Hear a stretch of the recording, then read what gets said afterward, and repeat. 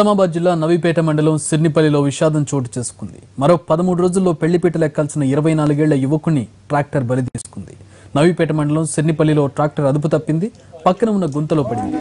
వేగంగా వెళ్తున్న ట్రాక్టర్ బోల్తా పడడంతో ఆ దాటికి ఇంజిన్ నుంచి మంటలు చెలరేగాయి. వెనుక ఉన్న ట్రక్ మామూలుగానే ఉన్నా ఇంజిన్ తిరగబడ్డంతో దాని కింద చిక్కుకుపోయాడు డ్రైవర్ ఆంజనేయుడు. ఓవైపు మంటలు మరోవైపు తిరగబడిన ఇంజిన్ నుంచి బయటకు రాలేకపోయాడు. దీంతో ఆ మంటలు సజీవ దహనమయ్యాడు.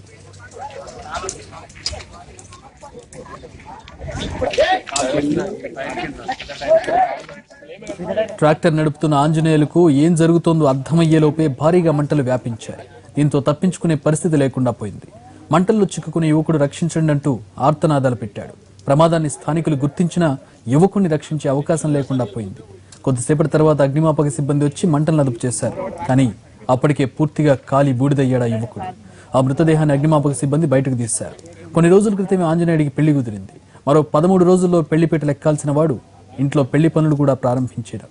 కానీ ఇంతలో హఠాన్ మరణం చెందడంతో రెండు కుటుంబాల్లో విషాదం నిండింది. పదమూడు రోజుల్లో పెళ్ళిపీటలు ఎక్కాల్సిన ఇరవై నాలుగేళ్ళ యువకుని ట్రాక్టర్ బలి తీసుకుంది. నిజామాబాద్ జిల్లా నవీపేట మండలం సిర్నిపల్లిలో ఈ ఘటన జరిగింది. వేగంగా వెళ్తున్న ట్రాక్టర్ బోల్తా పడ్డంతో దాని కింద డ్రైవర్ చిక్కుకున్నాడు. దీంతో ఒక్కసారిగా మంటలు చెలరేగి సజీవ దహనమయ్యాడు ఇక దీనిపై పూర్తి వివరాలు మా ప్రతినిధి మహేందర్ అందిస్తాడు. నిజామాబాద్ జిల్లా సిరన్పల్లిలో విషాదం చోటు చేసుకుంది. మరి కొద్ది రోజుల్లో కూడా పెళ్ళిపిట్టలు ఎక్కాల్సిన యువకుడు కూడా ట్రాక్టర్ ప్రమాదంలో సజీవ దహనమైన పరిస్థితి నెలకొంది. మనం చూస్తున్నాం విజువల్స్లో కూడా స్పాట్లో నిన్న సాయంత్రం వేళ కూడా ప్రమాదం జరిగింది. అంటే వ్యక్తిగత అవసరాల నిమిత్తం ట్రాక్టర్ పని మీద పని ముగించుకొని తిరిగి ఆ ట్రాక్టర్ను కూడా సంబంధిత వ్యక్తికి అప్పజెప్తూ అప్పజెప్పడానికి వెళ్తుండగా కూడా ఇక్కడ మూలమలుపు వద్ద కూడా ట్రాక్టర్ బోల్తో పడడం జరిగింది. బోల్తో పడిన తర్వాత కూడా ఇంజన్ నుంచి కూడా మంటలు వ్యాపించడంతో కూడా అక్కడికక్కడే యువకుడు సజీవ దహనం అయిన పరిస్థితి నెలకొంది. ఈ నెల పద్దెనిమిదిన కూడా ఆంజనేయులు ఆంజనేయులు వివాహం జరగాల్సి ఉంది. ఇంతలో కూడా ఈ ప్రమాదం ట్రాక్టర్ రూపంలో వచ్చిన ప్రమాదంతో ఆంజనీయులు ఆంజనేయులు సజీవ దహనం అవడంతో కూడా రెండు కుటుంబాల్లో విషాద ఛాయలు నెలకొన్న పరిస్థితి కనబడుతుంది. ప్రస్తుతం మనం మృతుడి తండ్రి ఉన్నారు. అని అడిగి తెలుసుకునే ప్రయత్నం చేద్దాం. చెప్పండి ఎప్పుడు ఏమైంది? అసలు ఎప్పుడు వచ్చింది మీ కొడుకు? ఈ బాబు నిన్న పెండ నింపినాక ఆరుగురు మంది నందిపేట పోయారు.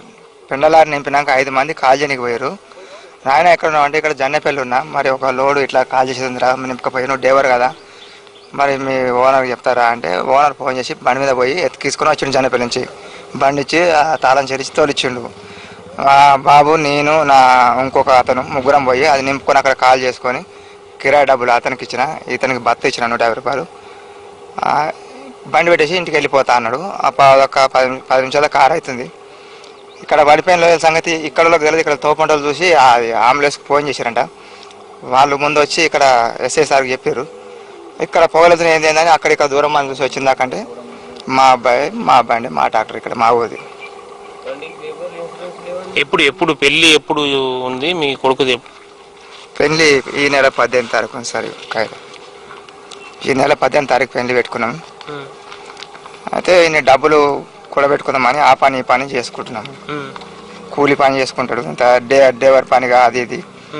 ఇది బాబు నన్ను ఆశించిన ఉమ్, సరే మాకు ఎక్కడ అప్పు తీసుకోలేక ఇల్లు లేక సంపాదించుకొని ఒక ఐదు పది వేలు దగ్గర ఉంచుకుంటే పెన్నికి కావాలి కదా? వాళ్ళు కట్నంగా ఒక పదివేలు వేలు ఇస్తున్నారు. అన్ని చెరవు కూలి చేసుకొని కూడబెట్టుకుందాం అన్నట్లు ఈ కథ జరిగింది.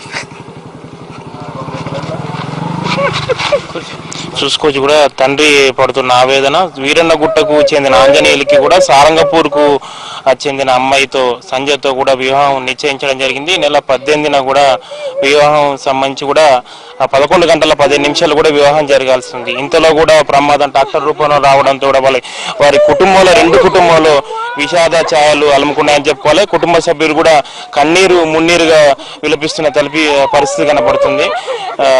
మనం ఒకసారి వాళ్ళ బంధువులను అడిగి ఏమవుతారమ్మా చనిపోయింది తమ్ముడు మా తమ్ముడు సారా? తమ్ముడు అవుతాడు అతను. కూలి పనులు అవి ఇవి చేసుకుంటాడు. ఎప్పుడో ఒకసారి ఇట్లా ట్రాక్టర్ నడుపుతాడు తనకు ట్రాక్టర్ కూడా నడపరాదు సరిగ్గా. ఇక్కడ వచ్చి ఇట్లా అయింది సార్ మాకు అసలు తెలియదు పొద్దున్నే తెలిసింది మాకు. మాకు ఎవ్వరు దిక్కు లేరు సార్. మా నాన్నకి చిన్నప్పుడే మేము చిన్న ఉన్నప్పుడు పెళ్ళి అయిపోయింది. మమ్మల్ని ఎవ్వరు చూడరు. మా చెల్లి ఉంది ఇంకొక ఆమె. పెళ్ళి కావాల్సిన ఆమె. మాకు ఇప్పుడు ఎవ్వరు లేరు సార్. మా తమ్ముడు ఒక్కడే.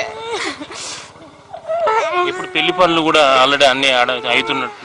అవును సార్ పద్దెనిమిది పద్దెనిమిదో తారీఖు పెళ్ళి ఉంది అతనిది పై- పెళ్ళి ఉంది అనేసి అడవిడిగా మేము అక్కడ పెళ్ళి పనులు చూసుకుంటున్నాం. ఇక్కడ ఇట్లా జరిగింది సార్. మాకు అసలు తెలియదు ఇట్లా జరిగినట్టు కూడా. ఎప్పుడు వచ్చి మీ తమ్ముడు? నిన్న ఎప్పుడు వచ్చి నిన్న మూడు గంటలకు అట్లా వచ్చేసిండు ఇక్కడికి. మూడు గంటలకు వచ్చిండు సా- మాకు పొద్దున్నే తెలిసింది. మా వాళ్ళకి రాత్రి తెలిసిందంటే కానీ మాకు అసలు తెలియదు చెప్పలేరు. యాక్సిడెంట్ అయింది. కాలు దెబ్బ? చెప్పిండ్రు కాళ్ళకు దెబ్బ తగిలిందని చెప్పారు కానీ చచ్చిపోయిందని చెప్పలేడు మాకు. ఇక్కడికి వచ్చేదాకా తెలియదు మాకు. ఆమె సొంత మరిది అవుతాడు మాకు నేను పెద్ద అవుతాను. దెబ్బ తగిలిందని చెప్పారు. ఇప్పుడు ఇద్దరు పిల్లలు ఉన్నారు. ఇల్లు ఒక పిల్ల పిల్లాడి పిల్ల ఉంది. ఈ పిల్లకి ఇద్దరు ఆడపిల్లలు వీళ్ళు బతుకు ఏమి చేస్తారు సారు? ఇప్పుడు వాళ్ళకి ఎవరు దిక్కులేరు చిన్న ఉన్నప్పుడే పిల్లలు పెట్టుకొని సాగింది. ఇప్పుడు చచ్చిపోయింది. నా అత్త కూడా లేదు ఇప్పుడు మరిది కూడా లేడు. ఇప్పుడు ఆధారం ఎవరు ఉన్నారు సారు ఇప్పుడు ఆ పిల్లకి పెళ్ళి వాళ్ళు చేస్తారు. ఇప్పుడు పోయి తీసుకురావాలి మేము. అమ్మాయి అమ్మాయి ఊరు అమ్మాయి సారంగపూరు. అబ్బాయి వీరనగుట్ట పెళ్ళి ఉంది పది రోజుల పెళ్ళి పెట్టుకున్నారు.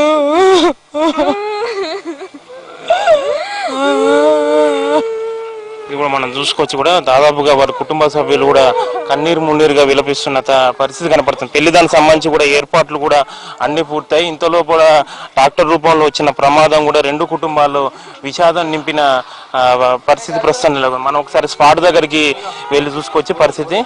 దానికి సంబంధించి మృతుదాన్ని మృతుడు పూర్తిగా సజీవ దహన ప్రమాదంలో సజీవ దహనం అయిన పరిస్థితి కనబడుతుంది. దాని మృతుడు సంబంధించి కూడా మనం ఒకసారి చెప్పులు అదే విధంగా పుర్రెను కూడా మనం ఒకసారి విజువల్స్లో చూసుకోవచ్చు. అంటే పూర్తిగా ఇంజన్ కింద పడేసి పూర్తిగా స్పాట్లోనే సజీవ దహనం అయిన పరిస్థితి కనబడింది. స్థానికులు వచ్చి రక్షించే ప్రయత్నం చేసినా కానీ అప్పటికే మంటలు కూడా పెద్ద ఎత్తున వ్యాపించడంతో కూడా ఎవరు కాపాడలేని పరిస్థితి అయింది. అప్పటికే ఫైర్ ఇంజన్ ఫోన్లు సమాచారం ఇచ్చినా కానీ అవి ఆలస్యంగా రావడంతో కూడా అప్పటికే జరగాల్సిన నష్టం జరిగిపోయిందని చెప్పాలి.